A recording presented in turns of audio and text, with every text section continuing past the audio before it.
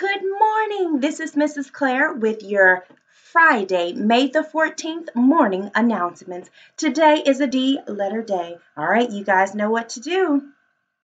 Please stand as we sign and say the Pledge of Allegiance with Bolt together. I pledge allegiance to the flag of the United States of America and to the republic for which it stands, one nation, under God, indivisible, with liberty and justice for all.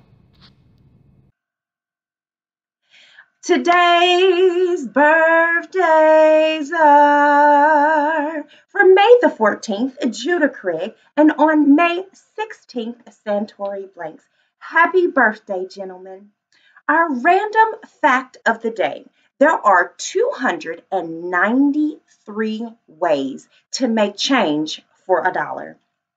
Your thought for the day a person who has never made a mistake has never tried anything new. Remember, your mistakes are proof that you are trying.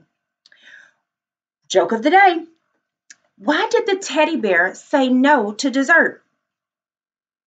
It was stuffed. and if you're participating in our journal entry, if you were a bird, where would you like to fly to?